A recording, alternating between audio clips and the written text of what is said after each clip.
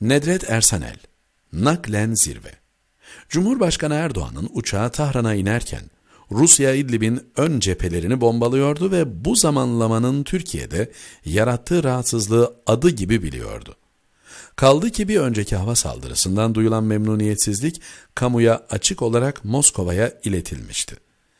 Şekli şartların ikincisi, üç devlet başkanının buluşmasının canlı olarak tüm dünyaya yayınlanmasıdır. Bu gerçekten de ilginç ve nadir bir durum. Dış politika ile ilgili kurum ve uluslararası ilişkiler bölümlerinde ders olarak okutulsa yeridir. Sadece İdlib'i değil, Suriye ve Orta Doğu'yu, dünyadaki birçok ülke ve uluslararası kuruluşu bağlayan, dört gözle beklenen, izlenen bir buluşmanın canlı yayında verilmesine elbette şaşırmalıyız. Burada hızla gariplik görüntüsünün üzerine atlayanların, Türkiye kötü duruma düştü alkışçılarının aynı hızla aşağı düşme ihtimalini bilmek lazım. Canlı yayın bölgedeki herkese gösterdi ki Türkiye üzerine düşeni yapmıştır ve daha fazlasını kimse beklememelidir. Konuşmalar içinde Cumhurbaşkanı Erdoğan'ın okuduğu şiir de hayli ağırdır. Ağırlığının Cumhurbaşkanı Ruhani'nin suratında yarattığı etkiyi gördük. Kuşkusuz Astana üçlüsünün genel olarak Suriye, özel olarak İdlib buluşması üzerine iyi çalıştıkları anlaşılıyor. Belli ki üç ülkenin istihbarat, savunma, diplomasi kadrosu kemiksiz kılçıksız bir metni lob et olarak dünya kamuoyunun üzerine bir saniye içinde koydular ve zirve de bir saat içinde sona erdi. Bu yüzden herhangi bir spekülasyona imkan tanıyacak, uzun ikili ve üçlü görüşmelerin Astana üçlüsünde zafiyet görüntüsü vermesine olanak sağlayacak bekleme süreleri yaşanmadı. Bu herkesi şaşırtmış olmalı. Özellikle Amerika'nın bu toplantının gelişme aşamalarında içerikle ilgili bilgi edinemediğini ama kendisine yönelik bir duruş barındıracağını kestirdiğini görüyorduk. Nitekim zirve sırasında İran tarafından Amerika'nın bölgeden mealen atılmasının süreç ortakları tarafından doğru bulunduğunu içeren sorumlu Amerika göndermesinin bildiride de terörle mücadele kisvesi altında sahada yeni gerçeklikler yaratılmasına dair her türlü girişim reddedilmiştir gizli öznesiyle. Amerika'nın üzerinin çizilmesi, Rusya'nın etkin haber sitesi Sputnik'in zirvenin ardından Tahran'da üçlü zirve, Suriye'de güvensizliğin bitmesi için Amerika'nın bölgedeki varlığı son bulmalı manşetine atması, üçlünün en net mutabakatının Amerika ile ilgili olduğunu işaretliyor. Amerika'nın Trump'ın çıkıp gidelim buradan açıklamasının tam bu zamanlamayla kalıyoruz'a dönmesi de bununla alakalı.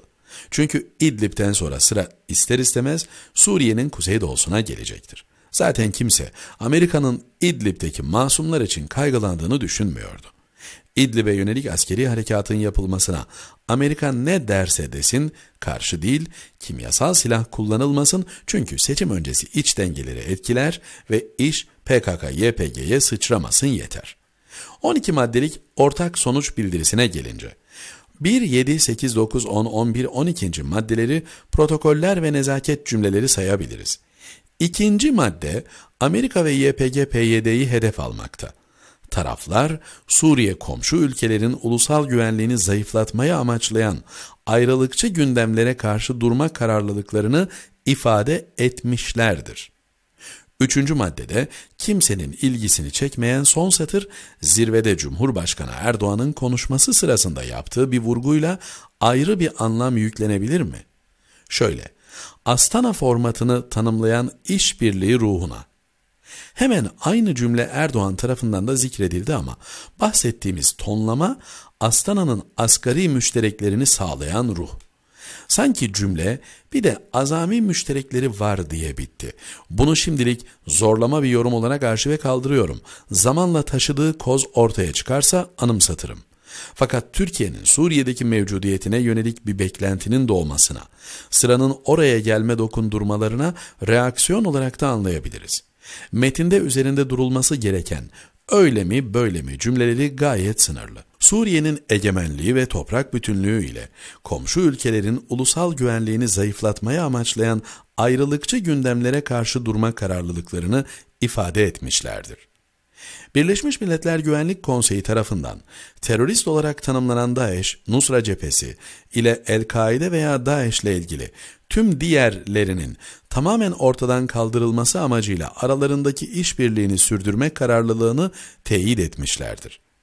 5 ve 6'da artık Suriye meselesini siyaseten bağlayalım maddeleridir. Ancak Tahran zirvesinin ve liderler bildirisinin esas teması siyasi mesajı. Suriye'de işin kabasının bittiği, Rusya ve İran'ın işin başından beri Şam'ın yanında duran ana müttefikler olarak artık işi siyasi sonuca bağlamak, uluslararası platformlarda onaylatma yoluna hızla çıkma arzusu duydukları görülüyor. Nihayet en merak edilen İdlib'e yönelik bir harekat yapılacak mı sorusu da net karşılık buldu. Evet yapılacak. Bu da sürpriz olmadı. Yapılacak ama Türkiye'nin hassasiyet ve tekliflerine özen gösterilecek.